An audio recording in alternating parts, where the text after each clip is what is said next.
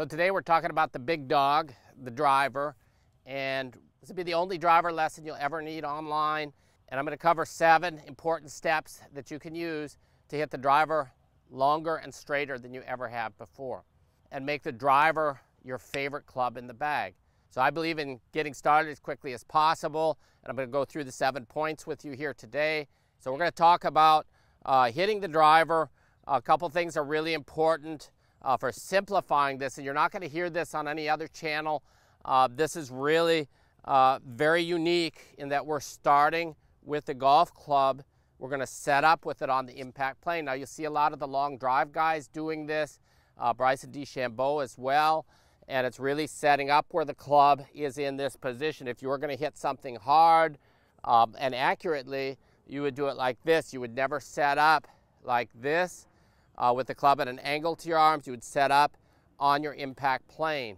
And you can look on video, uh, put a camera down the line here and make a swing and you'll see even though you start here at impact, you're there. So we're just gonna set up there. We're gonna set up for impact on our impact plane and then from there, uh, we'll swing on as close to a single plane as possible back and through. Most people never even have to think about it. The club's on such a direct path going back and through that it's like magic. It really increases your consistency and allows you to generate more power. As we're getting set up then uh, with the driver, we're gonna have the ball position here off the leading leg. So I like to go by the ankle and it's teed up about half to three quarters of a ball over the crown of the driver. As I get set up, I'm going to set up with my head back of center, and that's going to enable us uh, to get this nice impact angle, which is really pretty shallow to si slightly upward through impact, uh, and that's a couple of degrees upward. If you're going for maximum carry distance, we would just move the ball slightly more forward and then at impact, the club would be moving up a few degrees. This is how I would recommend getting started. At your setup position, uh, wherever you are, we're just gonna raise the hands up. We're gonna do this and let the weight of the club put the club into alignment with the trailing arm, at least to the elbow. I like to see a little bit of bend in this trailing arm. And so it looks like that. And that's how we want to get set up. The head's back. The spine angle, because we're standing up a little bit taller, it's a little bit more upright. That's going to make it a little bit easier for you to move.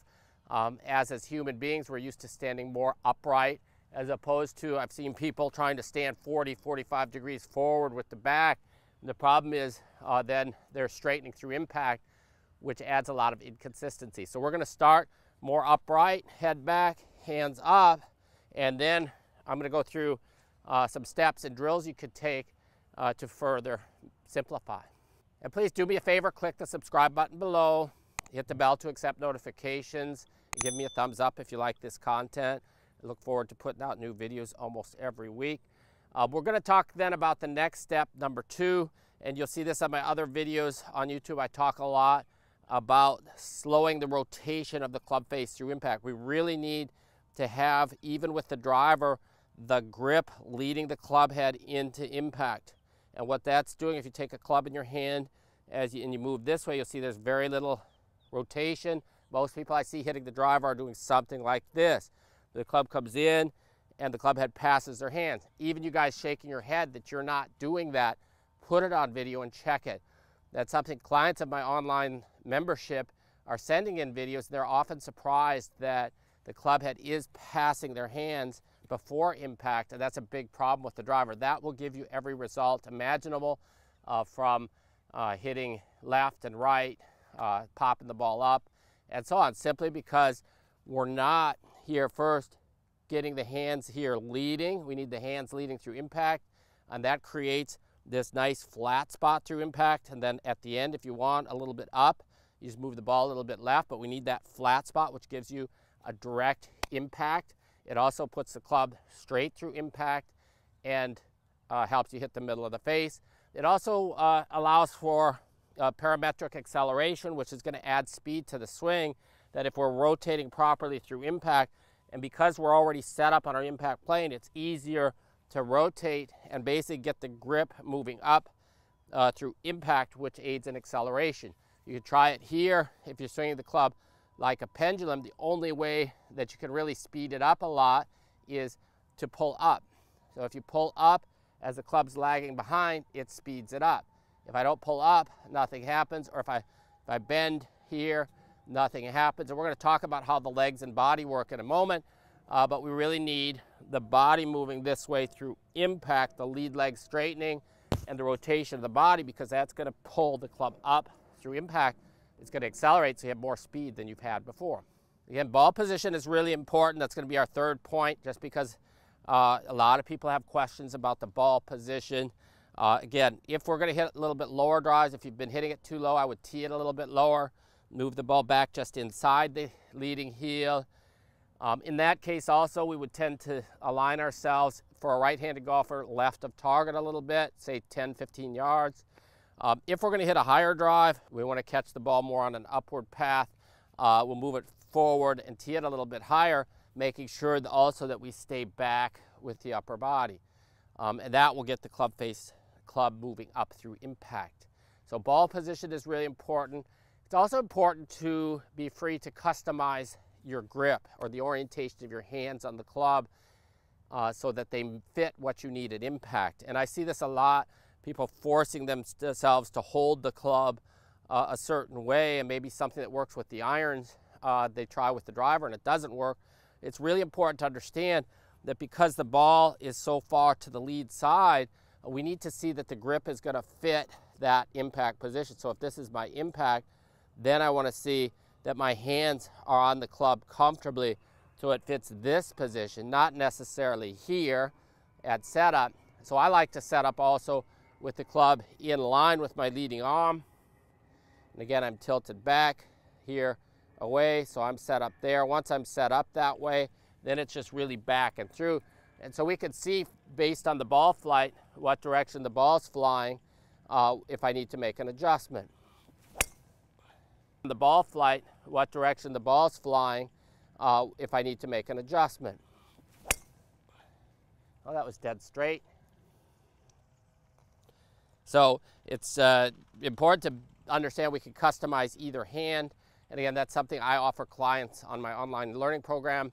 Uh, you can uh, learn how to do that or uh, submitting videos through my Platinum membership program. The next big help uh, for hitting the driver, uh, impact labels. And so I get these from longshotgolf.com, all written together. And these are the oversized wood labels. I think there's 400 in a pack. And we just stick this on the club face. and so this is going to help us learn to find our distance from the ball. So from my experience, people uh, tend to be marking either too far to the toe consistently or too far to the heel. Too far to the heel means they're standing too close to the ball. Too far to the toe means they're too far away. And uh, a lot of times they're marking on top of the face so they can tee it a little bit lower or they're marking towards the bottom and they can tee a little bit higher.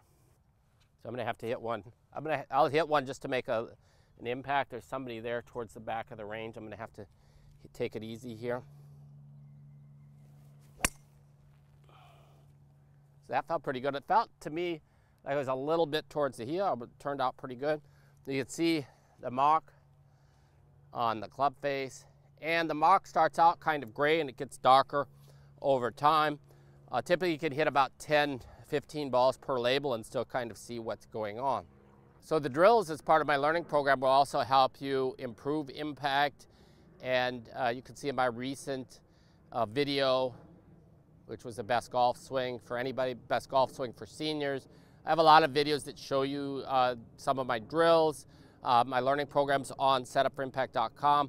But we need to learn to move naturally without restricting things through impact. I see far too often people getting really wide, trying to keep the feet planted on the ground, crazy stuff like that, which really flies in the face of what's natural. So uh, the sixth point here is we need to learn to move more naturally as if you were going to throw a ball. There's always going to be a lot of movement in the legs, the hips, the body, and that's what's really transporting and moving the arms. So we need to learn my first drill, which we can do with the driver also, is simply moving the club back here and then turning with the body, straightening the legs through impact.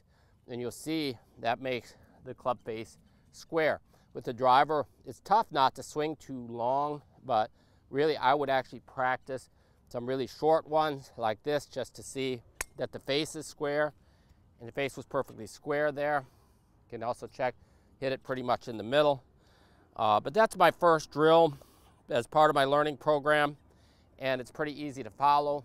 Basically we want to see that we can learn here that as we're swinging that we turn back, the trailing leg is straightening and the weight moves a little bit into the heel and as we swing in uh, towards the ball, the lead leg is bent and then it's going to straighten as we come into impact. And that's going to help with this parametric acceleration. It's also going to help create the flat spot and the square spot through impact. So it's important to move naturally. The same way we would be moving if I threw a ball, I'd be going that way. And basically, it's pushing against the ground, which is using ground forces to create speed, as opposed to what I see a lot of people doing, trying to keep the knees bent and the foot down flat on the ground, which is ridiculous uh, for both creating speed and accuracy. So the seventh tip I have for you as far as hitting the driver is follow my training program online here on YouTube or my very in-depth training program on my website at setup4impact.com and you will not believe how much you can improve your game just by working on impact and really focusing on getting set up for impact. Get set up for impact. It's going to make it a lot easier to hit great golf shots. I have a lot of schools. I have schools going on, Cincinnati, North Carolina, and Florida, three-day schools. Uh, you can check that out on the website. And my online learning program uh, is available for one-time purchase, so you have lifetime access, or you can become a platinum member, which allows you to send in videos from our review. You can follow my drills.